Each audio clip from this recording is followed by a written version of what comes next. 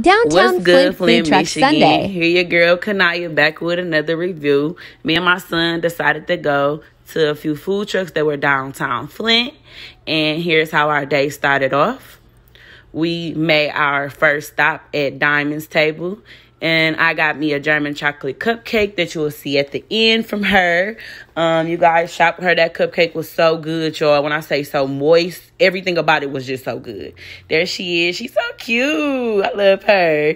Here's a food truck that I had never seen before. They had a pretty nice menu, but this is not where I decided to eat. But I said if they ever came back again, I would actually try their food.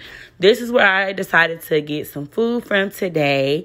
Um, I was been supposed to do a review on them, and today I'm like, yes, I'm trying some good food from here. I decided to get the salmon bites and some fries for my son. And here's my son. Look at him in that light. He's just so cute. Got his little bedrock shirt on. I tried to show y'all, but he kind of wouldn't let me trying to stand up. Here's our food. Here's the fries for him and salmon bites for me. There's the sauce that they had to dip in. Here those salmon bites again to show you guys. Yes, when I say it was so good and crispy, y'all.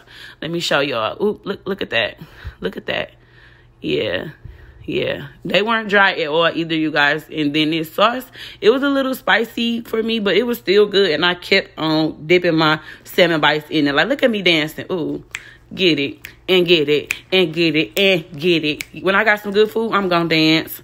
I'm gonna do the most and I'm gonna tell everybody about it so they can go try it. And Kazir tore them fries down, y'all. When I say he tore them down, he kept on eating more and more fries. He literally ate the whole thing of fries. Like I had to tell him like that don't make no sense that you sat there and ate all them fries.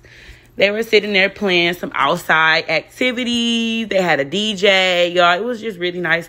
It was just calm, a vibe. You didn't have to worry about anything. It was just a nice day out with my son. Here's that cupcake showing y'all. And I wrapped up the day and I ate the whole cupcake. And you know it. Bye.